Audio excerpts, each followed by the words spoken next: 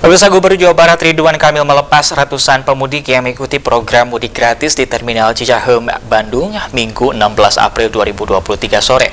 Dengan mempersiapkan berbagai hal untuk memperlancar perjalanan mudik, Ridwan Kamil berharap arus mudik tahun ini nihil kecelakaan.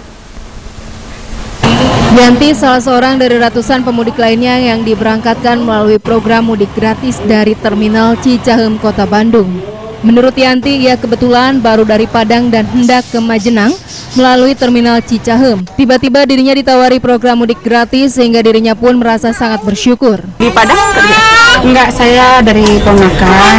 Kebetulan saya uh, kemalaman di itu di mobil apa namanya agen kemalaman jadi saya nginep di sini jadi saya keluar dari sana tadi jam 1 saya dapat ini mobil gratis.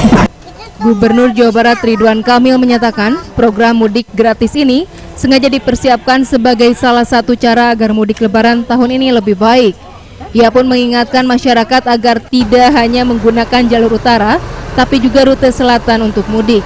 Tapi yang terpenting baginya yaitu para pemudik selalu menjaga kesehatan dan mempersiapkan fisik dalam melakukan perjalanan mudik dengan harapan tidak ada kecelakaan dalam arus mudik lebaran tahun ini.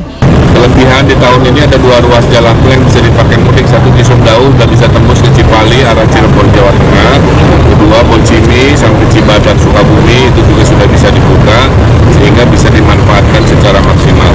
Nah himbauannya yang penting jaga kesehatan, kalau lelah, ngantuk, mohon berhenti, jangan dipaksakan. Kita berharap nihil kecelakaan, semua lancar dan arus mudik juga bisa kembali lancar. Sementara itu, Kepala Terminal Cicahem Roni Hermanto mengatakan sejak H-7 Lebaran Sabtu kemarin sudah ada lonjakan pemudik. Sudah ada keberangkatan 1.215 pemudik dari Terminal Cicahem pada H-7 Lebaran. Sedangkan pada H-6 Lebaran berbarengan dengan program mudik gratis, diperkirakan jumlah pemudik naik 20 hingga 30 persen dibandingkan H-7. Dirinya pun memprediksi terjadi peningkatan 40% persen jumlah pemudik pada lebaran tahun ini. Perkiraan prediksi 40% persen dari tahun lalu karena sekarang mungkin waktu sudah mulai terkendali.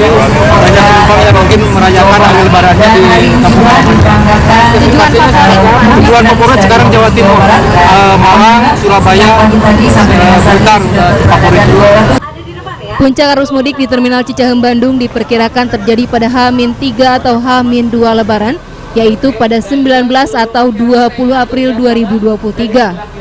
Untuk mengantisipasi lonjakan pemudik, Terminal Cicahem sudah menyediakan 165 kendaraan dengan 6.600 tempat duduk. Budi Hartati, Bandung TV